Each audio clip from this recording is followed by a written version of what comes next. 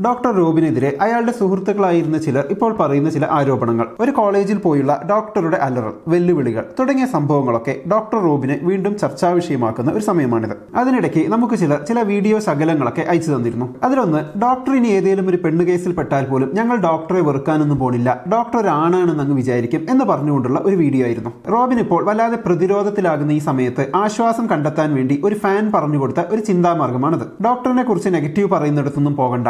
അതൊന്നും നമുക്ക് കേൾക്കണ്ട. നല്ലത് മാത്രം കേട്ടാൽ മതി. തുടങ്ങിയ ചിന്താരീതികളും ചില ഫാൻസിന്റെ അടുത്ത് നിന്ന് വരുന്നുണ്ട്. ഇങ്ങനെ ഒരു സാഹചര്യത്തിൽ ഈ ഡോക്ടറുടെയും ഫാൻസിന്റെയും ഈ മൈൻഡ് സെറ്റ് അവർ ചെന്നുപെട്ട ഈ സമ്മർദ്ദം ഇതിനെയൊക്കെ ഒന്ന് അനലൈസ് ചെയ്ത് കളയാമെന്ന് വിചാരിച്ചു. ബിഗ് ബോസ് ഷോയിൽ എത്ര വലിയ ആളായാലും വിന്നർ ആയാലും അതിലൂടെ കിട്ടുന്ന ഫെയിം അതിനുശേഷം നിലനിർത്താൻ വലിയ പാടാണ്. അതായത് ഷോ നടക്കുന്ന സമയത്ത് ഒരുപാട് മീഡിയ അറ്റൻഷൻ കിട്ടും ഒരുപാട് ഫാൻസിനെ കിട്ടും വലിയ ബഹളമായിരിക്കും വലിയ വലിയ സ്വീകരണങ്ങളായിരിക്കും. എന്നാൽ അത് കുറച്ചു കാലമേ ഉണ്ടാകൂ. പിന്നെ ആളും ആരവവും നിലയ്ക്കും. അത് റോബിനും നന്നായി അറിയാം. ഇനി റോബിനെ പ്രത്യേകിച്ച് നോക്കിയാൽ അതിലെ മറ്റ് കണ്ടസ്റ്റൻസിനെ വെച്ച് നോക്കുമ്പോൾ ഷോയ്ക്ക് ശേഷം പിടിച്ചു നിൽക്കാനുള്ള ഒന്നും തന്നെ റോബിന്റെ കയ്യിലില്ല. ഉദാഹരണത്തിന് പാട്ട് പാടാനുള്ള കഴിവ് body building modelling controversial topics ചർച്ച ചെയ്യാനുള്ള കഴിവ് ആങ്കറിംഗ് അങ്ങനെ പലതരം കഴിവുകൾ ഉള്ളവർക്ക് ഇത് കഴിഞ്ഞാലും ഒരു പരിധി വരെയെങ്കിലും ലൈം ലൈറ്റിൽ നിൽക്കാം. എന്നാൽ ഇത്തരത്തിൽ ഒരു കഴിവും പ്രകടിപ്പിച്ചിട്ടില്ലാത്ത റോബിന് ആ ഷോയ്ക്ക് ശേഷം ഫാൻസിനെ കൂടെ നിർത്താൻ ചില കളികൾ കളിച്ചാലേ പറ്റും. ഫാൻസിന് നിരന്തരം കോണ്ടന്റുകൾ കൊടുത്തുകൊണ്ടേയിരിക്കണം. എന്നിട്ട് ആ ലൈം ലൈറ്റിൽ നിൽക്കുമ്പോൾ തന്നെ സിനിമയിൽ കയറണം. അത് സക്സസ് ആയാൽ രക്ഷപ്പെട്ടു. ഇനിയിപ്പോൾ മിസ് വേൾഡ് ആയാൽ പോലും അത് കഴിഞ്ഞ് സിനിമയിൽ കയറുകയോ മറ്റോ ചെയ്തില്ലെങ്കിൽ ആരും ശ്രദ്ധിക്കാത്ത ഒരു അവസ്ഥയാണ് അപ്പോൾ ബിഗ് ബോസിന്റെ കാര്യം പ്രത്യേകിച്ച് പറയണ്ടല്ലോ. അങ്ങനെ നിരന്തരം ലൈം ലൈറ്റിൽ നിൽക്കാൻ റോബിൻ കളിച്ച കളികളിൽ കൂടെ കൂട്ടിയവരുമായി അയാൾ ഇടയ്ക്ക് തെറ്റിയപ്പോൾ സംഭവിച്ചതാണ് ഇപ്പോൾ നമ്മൾ കാണുന്നത്. കൂടെ കൂട്ടിയവരും റോബിനും ഈ ഹൈപ്പ് നിലനിർത്താൻ അത്യാവശ്യം ഉടായ്പകളൊക്കെ ചെയ്തിട്ടുണ്ട് എന്ന് തന്നെയാണ് തോന്നുന്നത്. റോബിൻ ഷോയിലും അതിനുശേഷവും കാണിച്ച ബിഹേവിയർ ആറ്റിറ്റ്യൂഡൊക്കെ ഒരുപക്ഷെ അത്തരം മനസ്സുകളെ ആകർഷിച്ചിട്ടുണ്ടാകാം. ഇയാളെ സപ്പോർട്ട് ചെയ്ത് വീഡിയോ ചെയ്തുകൊണ്ടിരുന്ന ഒരാൾ ഇയാളെ സപ്പോർട്ട് ചെയ്യുന്നതിന്റെ കാരണമായി ഒരു വീഡിയോയിൽ പറഞ്ഞത് ഞാനും ടോക്സിക് മസ്കുലിനിറ്റിയുടെ ആളാണ്. അതുകൊണ്ട് എനിക്ക് റോബിനുമായി റിലേറ്റ് ചെയ്യാൻ പറ്റും. അതുകൊണ്ടാണ് അതിലെ